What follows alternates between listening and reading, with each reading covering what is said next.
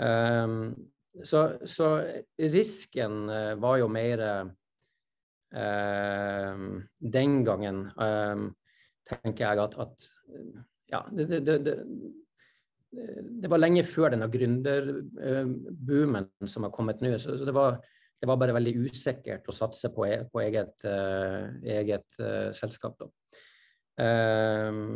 men, men, det er klart, uten risk så, så får du så er det begrensa hva slags oppside du får også. Så, så, jeg var villig til å ta den risken, og det ville jeg anbefalt meg sjøl å gjort på nytt igjen.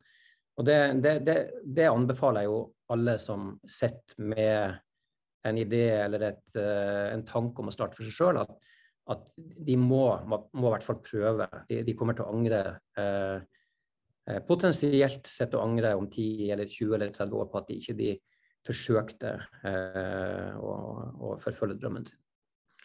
Jeg syns det er kjempeinteressant, for jeg tenker at eh, vi er jo to nordmenn, da, og så sier vi at det er risiko. Men jeg lurer på hva en utlending ville sagt. Hva er risiko?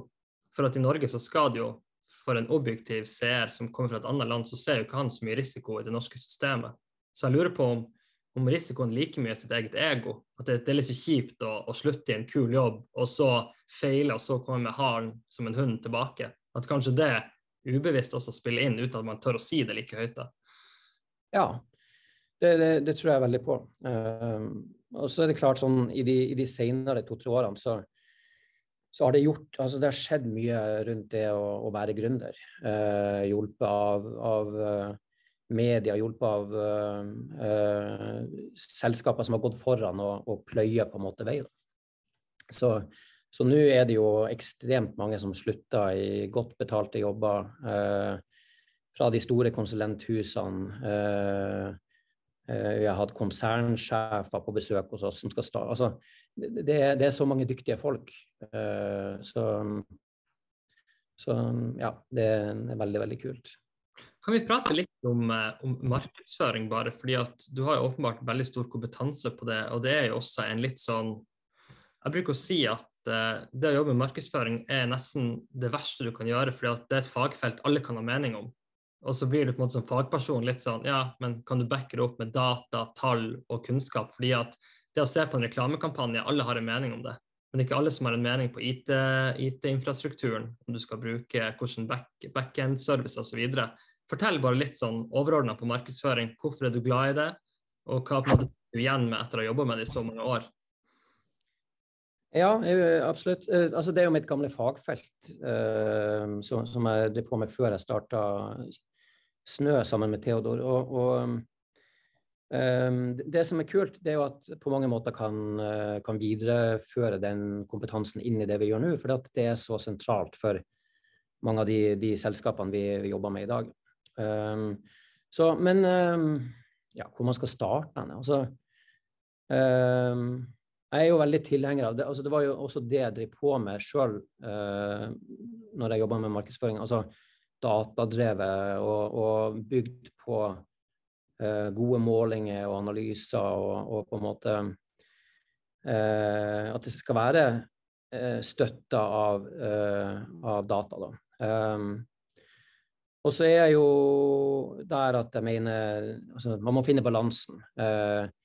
Um, det skal fortsatt være kreativt. Det skal være du, du, må være kreativt, uh, kreativ for, for, å virkelig lykkes. Og, og, um, men fundamentet må være på plass. Du må ha systemene som gjør at uh, du måler de riktige tingene.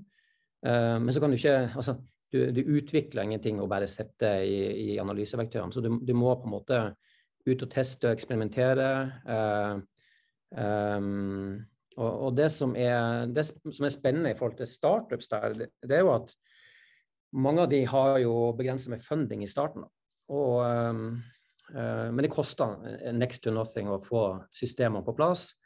Um, du må ha litt kompetanse, så enten så opparbeider du deg sjøl, eller så, så, får du uh, folk på plass. Um, og hvis det tar fem måneder å finne en person, så kan du bruke et, et byrå i, i, en, i, en, startfase. I hvert fall hvis du har litt funding og kan finansiere det.